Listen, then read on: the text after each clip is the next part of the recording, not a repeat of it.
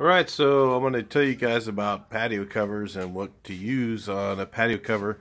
Um, this kind of patio cover, you can use whatever you want, pretty much. You could probably use enamel flat or, uh, you know, any of the enamels, which would be, include like enamel paints. A lot of people get this wrong. I think enamel is oil base. Oil base is not just the only enamel there is.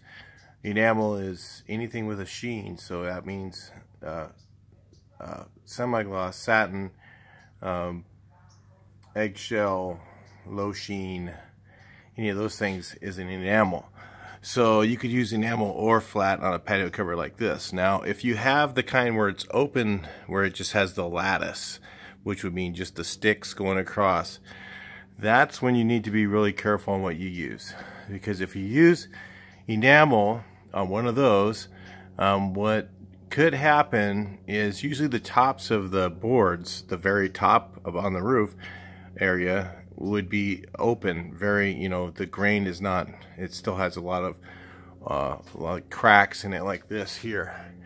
And when you get water from the rain down on the tops of those cracks, it tends to fill it up um, like, like a cup uh, because the outer part's sealed because you have enamel on that enamel will seal flat, releases the uh, moisture a bit.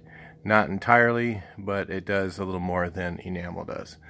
So if you have a, a enamel on one of those type of patio covers, that can be uh, a problem later on because usually what happens is say five or ten years from now it starts to really peel where um, flat or uh, one of the uh, semi solid acrylic stains or semi semi or what's it called uh, semi transparent stains will actually um, weather away versus the flat or the, the enamel peeling.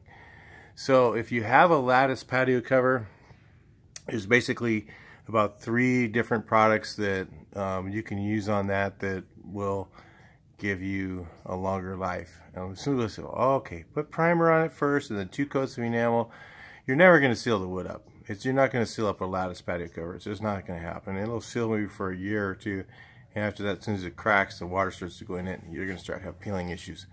So, I mean, I've seen them as, as soon as maybe two years after. So, um, and flat could last uh, five years or so, even longer. Um, but what what the three products you can really use are semi-transparent stain, 100% acrylic flat, or uh, solid acrylic stain. So those three products are basically the best for a lattice patio cover.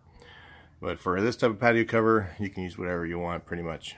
Talk to you in the next video.